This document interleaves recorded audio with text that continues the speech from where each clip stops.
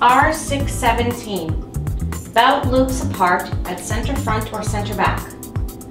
Lay garment flat.